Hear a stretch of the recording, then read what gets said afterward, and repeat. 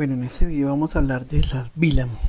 Eh, una VLAN es una segmentación de red parecido a lo que se hizo con las con las direcciones IP en la parte de las máscaras. Eh, aquí pues obviamente lo que se quiere hacer es una segmentación de una red, pero esa segmentación va a estar dada por los switches, por un switch. Entonces nosotros podemos hacer subredes. En este caso voy a hacer dos subredes pero las vamos a, a segmentar es en el switch. Listo.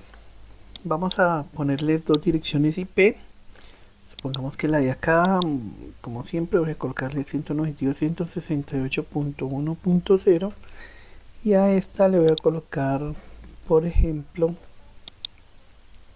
192.168.2.0 lo que primero se tiene que hacer es configurar el, el switch crear las VLAN. Esto se puede hacer de forma gráfica o se puede hacer por comandos. Eh, de forma gráfica sería la siguiente aquí se le coloca un nombre por ejemplo le voy a colocar un nombre un número y un nombre. Puede ser así. Y aquí observan ustedes que se ha creado ya la vila. Voy a colocar otro nombre por ejemplo y acá tengo ya las dos VLAN creadas Después lo que se tiene que hacer es una asociación de puertos a cada una de las VLAN. En este caso voy a dejar este primer puerto, lo voy a dejar, lo voy a asociar con la primera subred y este otro lo voy a asociar también con la primera subred. El 3 y el 4 vamos a asociar con la segunda subred. Igual con el 4 con la segunda subred. Listo. En, esto ya es una segmentación. Solo faltaría colocarle las direcciones IP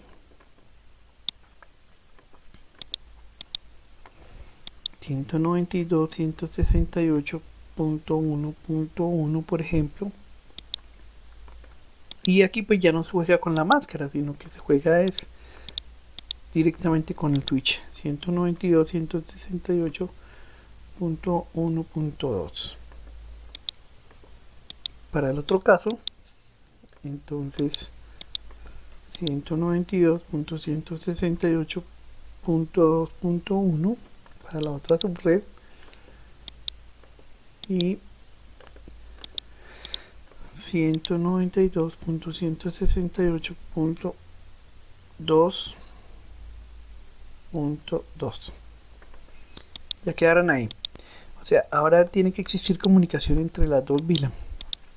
Miramos. Acá mmm, llegó las comunicaciones entre las vilas eh, si yo ya quiero comunicar de una vila en la otra, pues no debe ser posible. Debe generar una falla. Eso es lo que es una VLAN. Entonces, por ejemplo, em, estas redes pues permiten hacer segmentación de departamentos sin que los otros se enteren. Por ejemplo, el departamento de contabilidad mm, no tiene nada que ver con el de ventas y el de ventas pues obviamente no tiene que entrar al departamento de contabilidad y mucho menos donde se maneja dinero. Bueno aquí esta es la digamos la forma más simple de la de la vila pero pues em, hay cosas más elaboradas. En este caso voy a voy a repetirla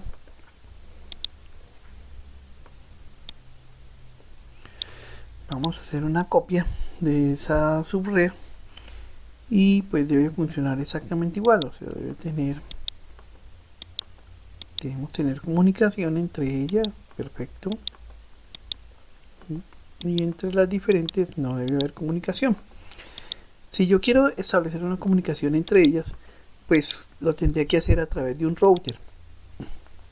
Y este enrutador pues vamos a colocarle específicamente vamos a colocarlo el giga como tiene en este caso y lo vamos a colocar al giga 1 de, del, del switch.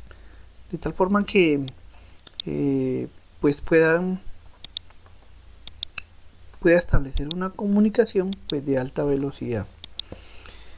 Eh, observe que como el switch me va a comunicar las dos VLAN entonces eh, yo debo colocar una dirección para esta red y otra dirección para esta red. Mm.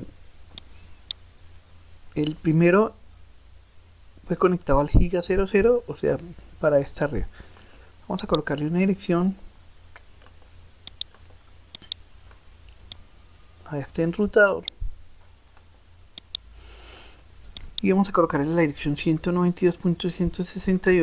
192.168.1.3 y vamos a habilitar el puerto. Lo mismo vamos a colocarle a la otra interfase. 192.168.2.3 y, y em, activo el puerto. Lo prendo. Sin embargo todavía no debe existir comunicación no puede haber comunicación ni siquiera con el enrutador ¿Y por qué no hay comunicación? Pues por una sencilla razón. El enrutador, yo siempre dije que se comporta como un computador más de la red. Y resulta que el puerto al que está conectado con el, el enrutador no ha sido asignado a ninguna VLAN. Entonces, si miramos aquí el giga, observe que está conectado a la VLAN 1 pero en este caso debería estar asignado a la VLAN 100 de contabilidad. Y el otro puerto, el otro puerto también está asignado a la VLAN 1 y debería estar asignado a la otra red. Entonces ya ese es una algo que corregimos y entonces ya deben tener comunicación entre ellos, entre un computador de la red y el enrutador. Aquí ya vemos que aparece con el otro computador igual. Y por el otro lado, también como ya tiene es parte de la red, también debe haber comunicación. Aquí está. Ahí se ve la comunicación de los dos, de los peces con el enrutador. Sin embargo, todavía no debe existir comunicación entre las dos redes. Mm. ¿Y por qué? Bueno, eso sí es por una sencilla razón que vimos desde, desde, la, desde el momento en que utilizamos las primeras redes. Y obviamente es porque los computadores no saben por dónde tienen que enviar los mensajes que no son para su red. Que estoy diciendo que a los que a los computadores no se les ha configurado su puerta de enlace. Eh, la puerta de enlace es la dirección que se le colocó al enrutador y entonces pues eh, debemos colocarla a cada uno de los computadores. Aquí está tu puerta de enlace y también para los de la otra subred debe existir su puerta de enlace. A ambas, ambas direcciones les coloqué a ambos enrutadores les coloqué mm, la dirección punto 3 a las 12 interfaces de los del enrutador les coloqué la punto 3 de acuerdo a cada una de sus VLAN y ahora sí pues debe existir comunicación entre un lugar y otro. Ya llegó llegó efectivamente y ahí tenemos Pero bueno, ¿qué, qué sentido tiene pues separar para después unir? Eh, el, el sentido es que el tráfico solamente circula en sus VLAN y solamente lo que se va a enviar a, otra, a la otra VLAN es el tráfico que va a pasar a través del enrutador.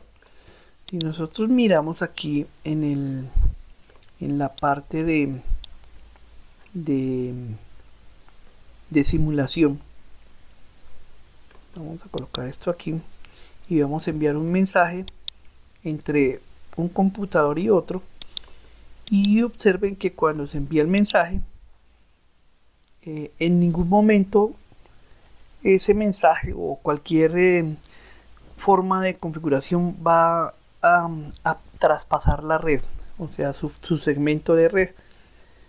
Eh, cuando él empiece a enviar mensajes de broadcast, los hace específicamente para cada segmento de red. Aquí ya llegó el computador.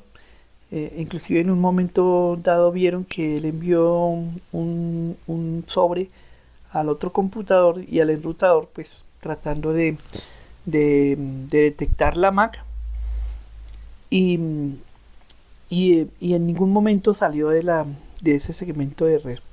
O sea, solamente trabaja en su segmento de red. Ahí ya llegó la, la comunicación y ahorita todo lo que él empieza a hacer de, de mensajes lo hace a través de solamente su segmento de red. Eh, eso se vio casualmente ahorita en, el, en la red del lado izquierdo. Envió esos mensajes rosados y solamente lo hace por segmento. Bueno, eso es todo por este video. Nos vemos en, en el siguiente con otras configuraciones de, de VLAN.